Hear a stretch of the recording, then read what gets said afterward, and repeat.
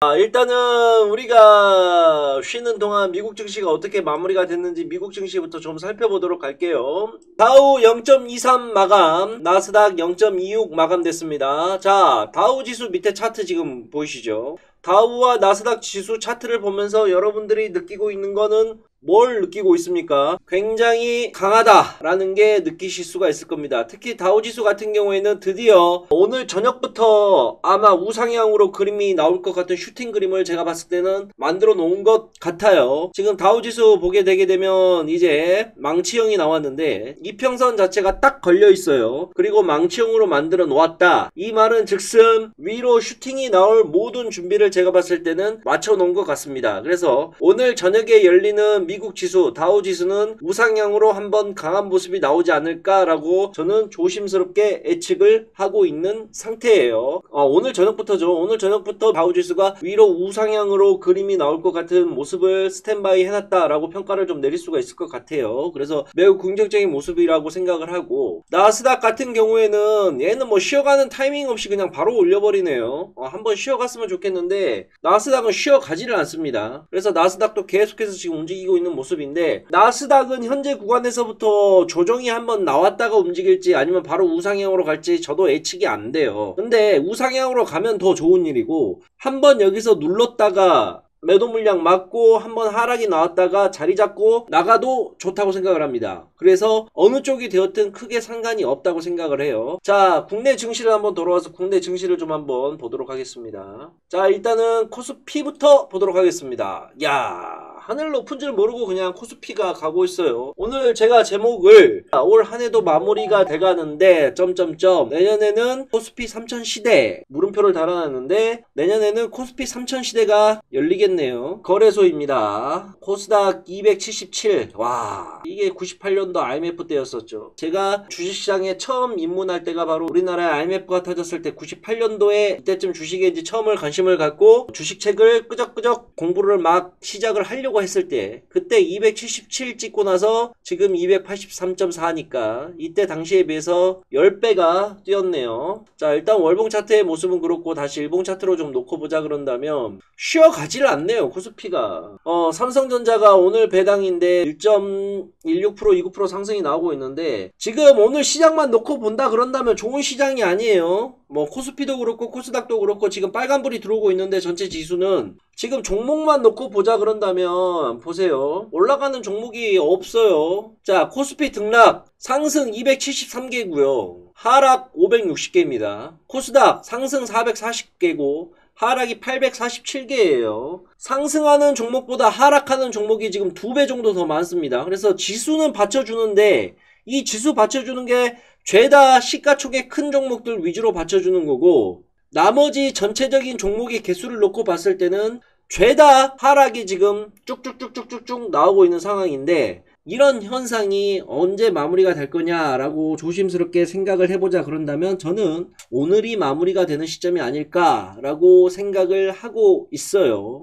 자, 코스닥도 0.25% 상승이 나오고 있는 모습이에요. 제가 이때 하락이 나올 때도 얘기를 드렸었지만 우리가 생각하는 이런 식의 큰 폭의 조정은 없을 거다라고 제가 얘기를 드렸었습니다. 시장이 이틀간 하락이 나왔지만 바로 지금 반등이 나오면서 움직이고 있는데 여기에서 위로 바로 치고 올릴 수 있는 구간은 위쪽에 열려 있는 구간은 굉장히 아직도 많다. 그래서 코스닥 쪽도 너무 걱정하지 말자. 어찌됐건 지금은 현금을 확대시킬 때가 아니라 현금을 줄이고 주식에 대한 비중을 키워나갈 때이다. 라고 정리를 좀 해드리겠습니다. 아시겠죠? 그래서 당장 내 종목이 올라가지 않는다 그래도 좀 인내를 갖고 종목을 좀 지켜볼 필요성이 있어요. 그리고 항상 지금 구간에서 사야 될 건 뭐다? 저평가되어 있는 종목들 위주로 좀 종목을 공략을 하자. 자, 그러면서 이 종목도 한번 이야기를 한번 해드리는 게 좋을 것 같은데 한국 화장품 얘기가 나왔었어요. 야, 이거 생각보다 많이 떨어지네요. 글쎄요, 저는 이 구간에서는 한국 화장품을 담아야 된다고 생각을 여전히 하고 있습니다. 충분히 메리트가 있는 구간이라고 생각을 하고 지금 업종들 자체가 다 이미 올라와 있는 상태인데 아직 못 올라온 업종 이라고 좀 본다 그런다면 화장품 쪽을 좀 보고 싶어요. 가장 크게 좀 보고 있는 이유는 뭐냐? 바이든이 대통령이 되었기 때문에 바이든과 중국과의 관계가 서로 나쁘지가 않습니다. 그러면 미국이 어, 내년에 바이든이 대통령이 취임이 되게 되면 중국과의 관계를 다시 재정립을 하게 될 거고 그 사이에 끼어 있는 우리 대한민국이라는 나라도 미국이 이쪽에다가 우화 정책을 펼치기 시작하게 되면 우리나라도 이쪽에다가 딜을 볼 수 있는 기본 협상 코드가 만들어진다는 거죠. 그렇게 되면 중국에서 한한령을 풀었을 때 가장 먼저 중국의 관광객들이 몰릴 수 있는 나라가 바로 우리나라.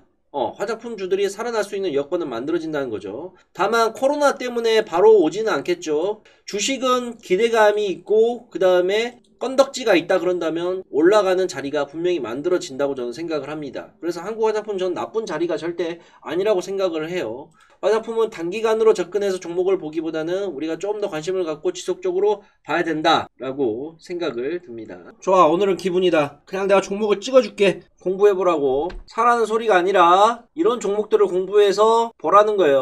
덕산 네오룩스 공부해보고 그 다음에 한솔 케미칼 이것도 한번 공부해보고 그 다음에 테크윙도 공부 좀 해봐라. 반도체 소부장 관련된 종목. 오늘은 기분이다. 연말 선물이다. 하나씩 찍어줬습니다. 손 떼라. 지금 사라는 소리가 아니다 저런 종목들도 시장에 있으니까 공부 좀 해봐라 그리고 종목을 스스로 찾아서 공부하는 습관을 좀 가지도록 해라. 반도체 소부장 쪽에 지금 널려있는 좋은 종목들이 되게 많다. 실적과 차트와 그리고 내년도 반도체 전망을 보았을 때 개인들이 좀 쉽게 들어가서 쉽게 나올 수 있는 종목. 그게 바로 반도체 관련된 종목들이다. 왜? 반도체는 기본적으로 들어오는 종목들이 느낌이 보게 되면 호가창들이 빽빽하게 박혀 있기 때문에 매수와 매도가 쉽게 이루어질 수가 있다. 반도체 종목들을 좀 제발 좀 봤으면 너무나 좋겠다. 라고 이야기를 좀 드릴 수가 있겠습니다. 아시겠죠? 조만간에 반도체 음, 특집으로 해가지고 제가 반도체 교육 영상을 하나 찍어서 올려드리도록 하겠습니다. 오늘의 주식 이슈를 한번 좀 살펴보는 시간을 갖겠습니다.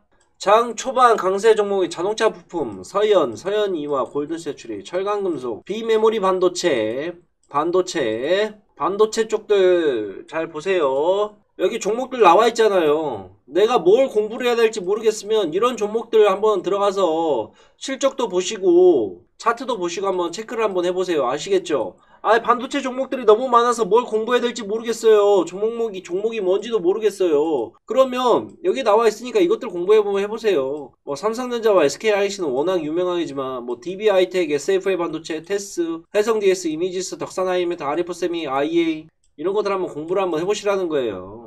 하다못해 실적과 차트만 가서 확인만 해보세요. 아시겠죠? 자, 개장 전 주요 이슈 점검. 코스맥스, 중, 립스틱, 립틴트 대박. 화장품 관련주죠. 코스맥스 한번 볼까요? 자, 코스맥스도 바닥을 기고 있죠. 재무제표, 매출액, 영업이익, 순이익, 어 매우 좋네. 근데 왜 주가는 이 모양이냐? 월봉 차트 한번 봐볼까? 어헤이 이 녀석 왜 이렇게 바닥을 치고 있냐? 손이 매수 버튼에 가냐 어찌냐? 매수 버튼에 손이 가냐 어찌냐? 손 떼라. 코스맥스 관심 종목 추가.